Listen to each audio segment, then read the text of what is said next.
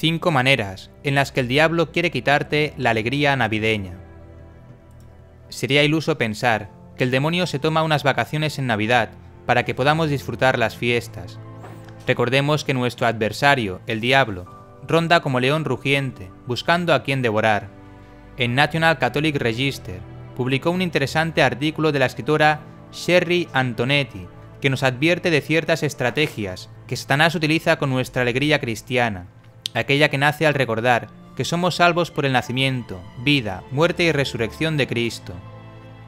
1. Envidia.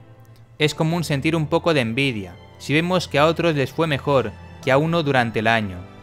Quizás otros tienen casas más grandes y mejor adornadas que la nuestra, o tienen regalos más caros del que se nos han dado. El diablo aprovecha esto para que no mires las cosas buenas que Dios te ha dado. 2. Gula. No solo en cuanto a la comida de Nochebuena o Año Bueno, sino en una gula espiritual del consumismo, de gastar para sentirse poderoso o pleno, quizás para sentirse importante e indulgente, porque eres el familiar con más poder adquisitivo, y por ende puedes regalar más. El mejor regalo es aquel que denote que has pensado en la otra persona y has gastado tiempo en ella. 3. Codicia. El demonio intenta de quitarte el placer de recibir y de dar regalos o cariño.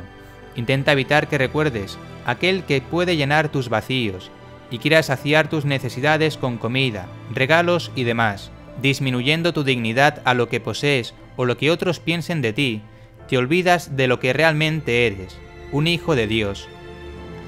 4. Pereza. Esto no es sorpresa. El demonio querrá que no te muevas de la cama, que es diferente que tomar un merecido descanso por el trabajo de todo un año. No querrá que adornes tu casa celebrando el nacimiento de Jesús. No querrá que recuerdes la alegría de la fiesta. Intentará convencerte de no mover ni un dedo y quedarte pegado al sofá, a la cama o al televisor. 5. Miedo.